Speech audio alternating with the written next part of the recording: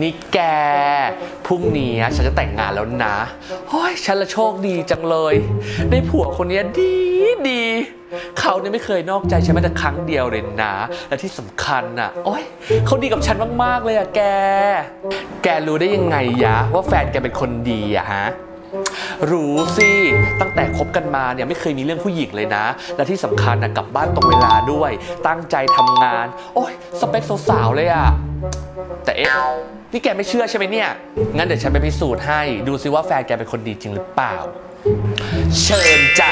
ฉันบอกแล้วว่าผัวคนนี้รักฉันคนเดียว เขาเป็นคนดีมากๆ ธรรมะธรรมโมสุดๆเฮ้ยแกนี่พูดยากพูดเย็นจังเลยนะ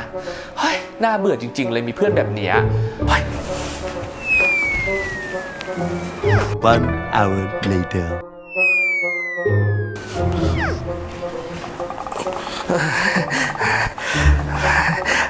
แฟนแกดีจริง ๆ ด้วยอะเอ่อเอ่ออย่าบอกนะว่า ใช่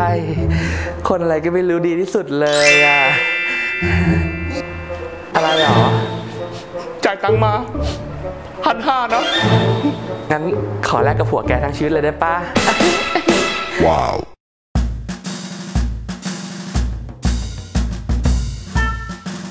นี่แก ทำไมแกถึงยังไม่มีแฟนฮะ เพื่อนคนอื่นเขามีกันหมดแล้วนะ แม่เราบอกว่าเราเป็นผู้หญิงอะต้องรักนวลสงวนตัว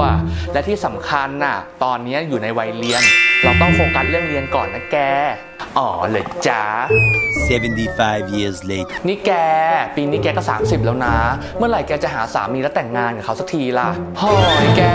แม่ฉันนะบอกว่าให้โฟกัสเรื่องงานก่อน ถ้าการงานเราดีอะเดี๋ยวผู้ชายก็เข้ามาเองอะแก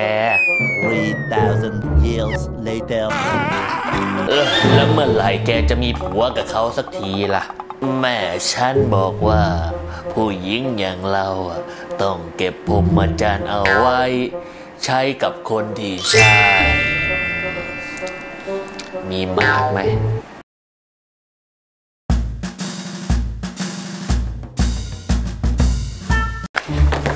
คนต่อไปเชิญครับ คุณหมอครับ ผมมีเรื่องมาปรึกษาครับ ว่ามาคนไข้ตอนที่ผมคบกับแฟนอยู่อะผมก็นอกใจเขาและที่สำคัญเนี่ยผมไปมีอะไรกับผู้หญิงอื่นโดยที่ไม่รู้สึกผิดเลย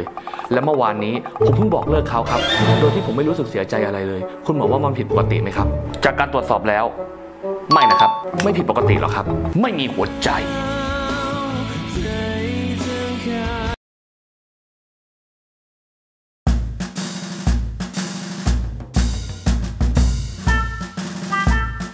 คุณหมอคะดิฉันรบกวนขอเบอร์คุณหมอไว้เฝ้าติดตามอาการของดิฉันได้ไหมคะจะดีเหรอครับคนไข้อะดีสิคะคุณหมอจะได้ติดต่อคุณหมอได้ง่ายขึ้นไงคะแน่ใจนะครับ แน่ใจสิคะ บอกเบอร์ได้เลยค่ะ ได้ครับคนไข้เบอร์พอไหมครับ พอแล้วค่ะ ผมว่าเบอร์อีกสักหน่อยก็ได้นะครับ เบอร์เบอร์เบอร์พาไปครับเบอร์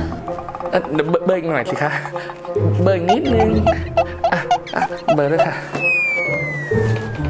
โอ